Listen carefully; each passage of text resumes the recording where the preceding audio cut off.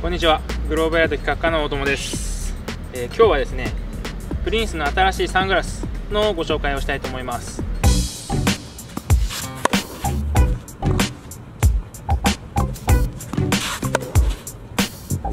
NXT 超光レンズを使ったサングラスになります。NXT 超光というのが一つ大きい特徴なんですけど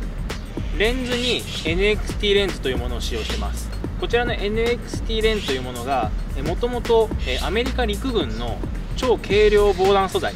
を開発するプロジェクトから生まれた、えー、超軽量なのに丈夫な素材になってまして、まあ、いざそれをサングラスに使うとどんな特徴があるかということなんですけどまず1つは非常にレンズが柔らかいです。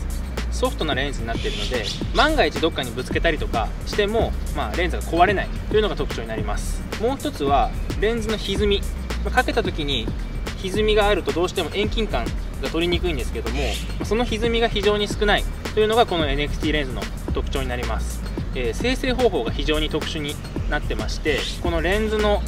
形になっている型に素材を入れていくというのは、えー、プリンスでもこれまであるプレミアハイコントラストレンズと同じ製法なんですけど実はこの NXT レンズはその型に流し込むんではなくて、まあ、レンズの添付剤例えばな調光の機能とかを加える素材を練り込む方法を使っているので流し込むよりもより歪みが出にくい製法になっているので、まあ、装着した時に、まあ、裸眼で見てるのと同じような遠近感で、えー、馴染んで使うことができます。NXT 調光ということで実は調光機能が非常に特徴がありまして調光のスピードが非常に速いものになってまして今、えー、少しレンズの色はちょっとこれは実は明るい方なのかな？色になってるんですけどいざここに紫外線が当たってくるとまあ約1分で真っ黒になるようになってます。で今僕手に持ってるのが紫外線をこう瞬間的に照らす機械なんですけど、はい、ご覧のように紫外線を当てたところだけ黒くなっていると思います。明るい状態から約1分ほどで黒くなるので、まあ、急に日差しが強くなってきたりしてもサングラスかけたままで目を保護してくれる、えー、瞬間調光の機能になります。フレームにも特徴があります。まず1つがここに実は隙間があるのが分かると思います、まあ、これベンチレーションシステムと言ってるんですけど、えー、レンズが非常に高強度なのでレンズ片方のレンズをここの1点だけで止めることができるのでここに隙間が作れます、まあ、マスクなんかをつけてサングラスをかけたことがある、まあ、あとは眼鏡をかけている方は分かるかと思いますけど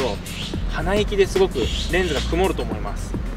ですがこのベンチレーションシステムで全くレンズ曇ることなくかけられるのでこれも非常に快適にかけてもらえる特徴の一つだと思います。もう一つはまあフレームが非常に柔らかいのでまあ、肌当たりもいいですし、まあ、どんな顔のサイズの方にもフィットしてもらえるようなものになります。でもちろんノーズパッド。ノーズパッドとテンプルラバーは形を調整することができるので、まあ、ご自身の使う方の顔の形僕顔大きいですけどに合わせて幅を調整してもらうと非常に快適に使ってもらえるかと思います。カラー展開なんですけどレッドブラックという色味のものとこちら。ブラックピンクの色味のものになります、まあ、男性でも女性でも使えるように2カラー展開になっております。で、えっと、発売時期に関してなんですけれども、まあ、今年の夏のいい時期に目指して発売の予定になりますのでぜひともご期待ください。